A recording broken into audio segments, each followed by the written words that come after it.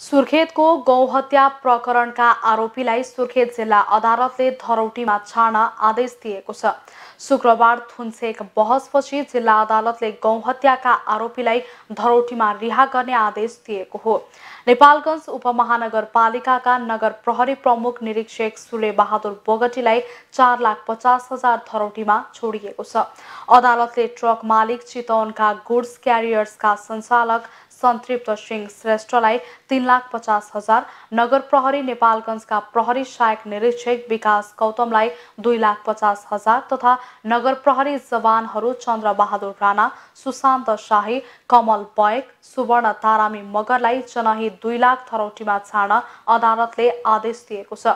यस्तै गरी उपमहानगरपालिकाका फायरमेन कमल थापा मगरलाई एक लाख पचास हजार नेपालगञ्ज कान्जी हाउसका सहयोगी धर्मेन्द्र नेपाली एक लाख पचास हजार थरौटीमा रिहा गर्न आदेश दिएको हो गायोसार्ने ट्रक चालकहरू शत्रुधन चौधरी हिमबहादुर चिसी दानबहादुर केसी विवेक कुवर सागर विकलाई जनही एक एक लाख थरौटीमा रिहा गरिएको छ।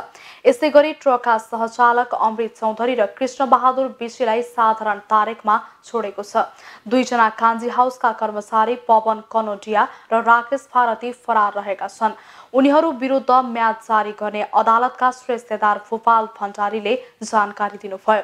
गौहत्या प्रकरणमा सरकारको तर्फबाट जिल्ला न्यायाधिवक्ता डमर काफले र सहन्यायाधिवक्ता आरती चपाईले बहस गर्नुभएको थियो भने आरोपीको तर्फबाट वरिष्ठ अधिवक्ता गोविन्द बन्दी र प्रेमदोष शाही लगायत एघारजना वकिलले बहस गरिरहेका छन्।